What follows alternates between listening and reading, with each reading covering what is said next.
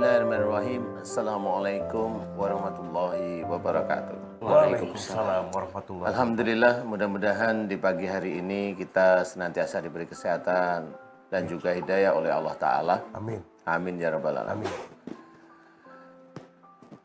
Hari ini tema kita sebenarnya sudah sangat sering orang itu mendengar.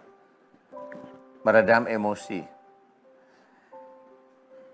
Sering sekali kita mendengarkan bagaimana seseorang itu marah, padahal kita juga tahu bahwa kita itu seorang Muslim. Allah melarang kita marah. Dalam hadis juga diceritakan, la tagdob walakal jannah. Jangan marah bagimu surga. Jadi kesannya, hadis tersebut itu hanya cuma sebagai hanya sebagai kata-kata yang hanya kita hafalin aja. Hafal semua orang hafal. Tapi orang-orang yang tahu agama itu pun sama. Orang-orang seperti kita tahu agama masih aja marah. Entah sama orang lain, entah sama saudara, entah sama anak istri atau suami.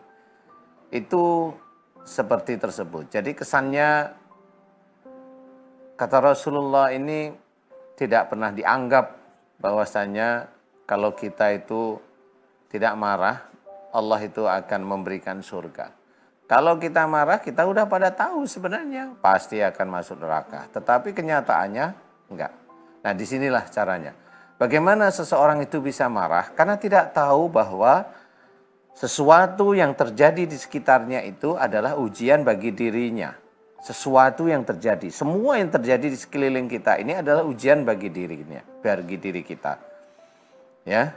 Waja'alna badakum libadin fitnatan atas birun. Aku ciptakan kamu bagi ujian bagi yang lainnya. Apakah kamu sabar? Nah, Di sinilah kita harus memahami. Ayat demi ayat itu kita renungkan, kemudian kita harus paham, oh Mas Bobi itu ujian saya, oh istri saya itu ujian saya, oh anak saya itu ujian saya, oh suami saya ujian saya, oh kendaraan di jalan itu ujian saya, oh orang lain ujian saya, harusnya seperti itu. Nah inilah yang menjadikan kita-kita orang Islam itu nggak paham sebenarnya. Dia ngerti ilmunya, ngerti Fa'fu anhum, maafkan mereka banyak yang tahu. Wastaghfir lahum, mohonkan ampunan dosa-dosa mereka banyak yang tahu, tetapi kenyataannya nggak bisa. Ya, akhirnya kita mengingkari ayat-ayat tersebut. Hanya tahu tapi tidak bisa menjalankan.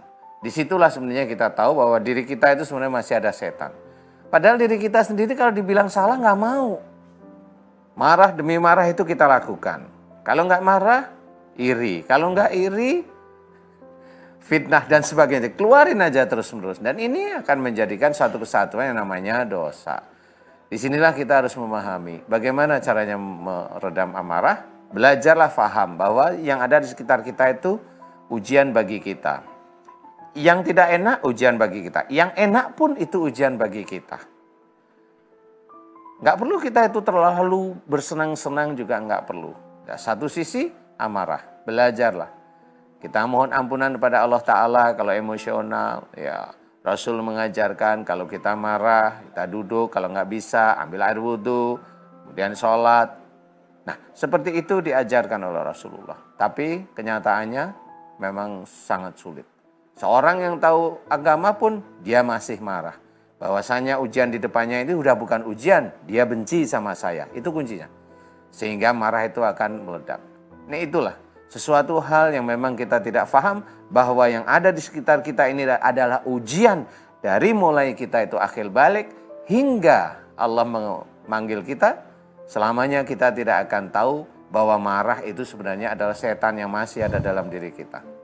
Mudah-mudahan ini bisa menjadikan manfaat bagi semuanya. Ayolah kita belajar.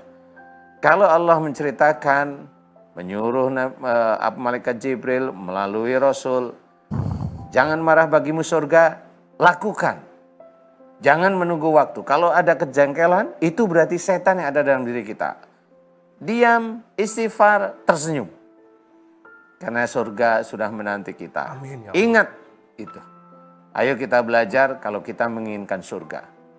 Mudah-mudahan manfaat Wallahu a'lam. Allah alam. Barakallah, terima kasih.